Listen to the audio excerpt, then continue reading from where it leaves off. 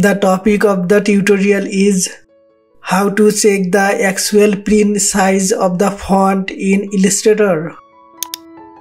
As you can see, the size of this artboard is 5 feet by 5 feet.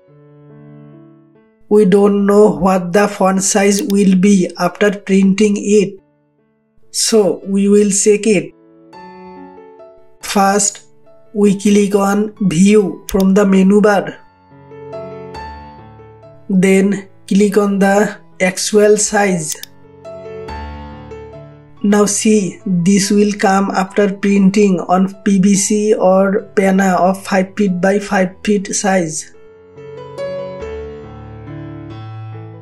We will check this in on more away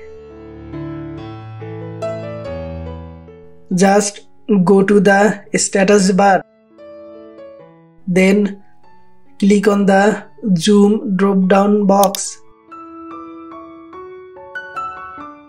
Select 100% from here. Done. Thanks for watching the video